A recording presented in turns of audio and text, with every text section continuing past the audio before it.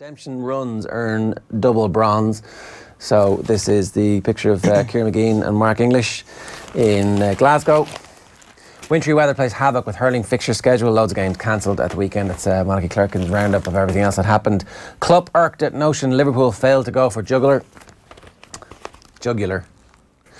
Uh, Ireland's Bronze Age. Mageean and English step up to mark with European medal success.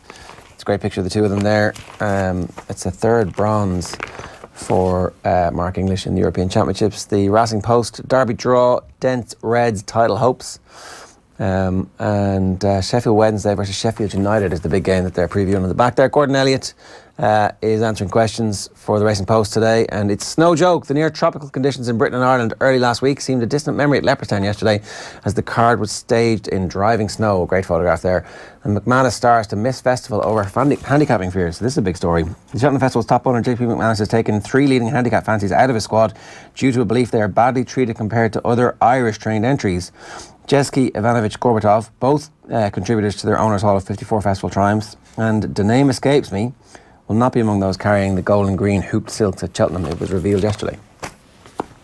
Back page of the Herald this morning is I Believe. It's a quote from Jurgen Klopp, who's keeping the faith as Liverpool bid falters and Dubs are getting stronger. It's Anthony Cunningham's quotes after they went down to Dublin yesterday against in Dr. Hyde Park. He says their A versus B games are probably the most competitive games they're going to get said Anthony Cunningham, despite the fact that they, of course, have lost two games in the National League so far this year. Uh, back page of the Irish Daily Mail is Bronze Pride. Mageean and English delight at Euro display, while we- weather wreaks havoc with hurling fixtures, says Philip Lanigan here. Yeah, great picture there on the back. Glasgow kisses the caption. Ciara Mageean kisses the flag while Mark English reacts just after his finish in Glasgow. Uh, it's football on most of the rest of the tabloids this morning. The Sun goes with Gone with the Wind.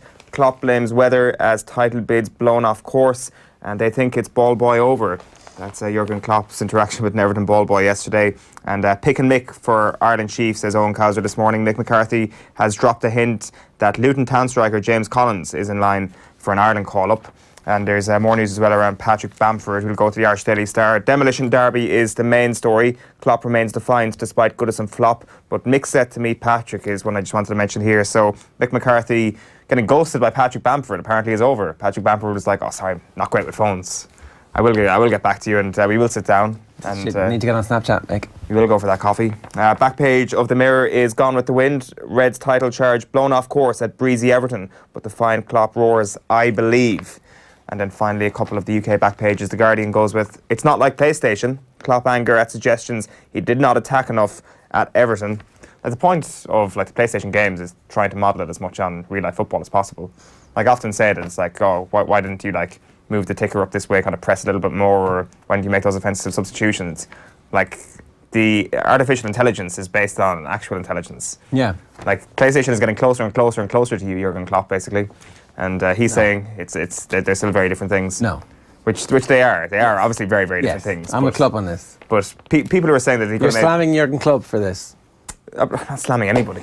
Uh, the Telegraph, though, are blowing it, they say. Salah wastes chances in Merseyside derby, but Klopp blames high winds as Liverpool drop crucial points in race for the title.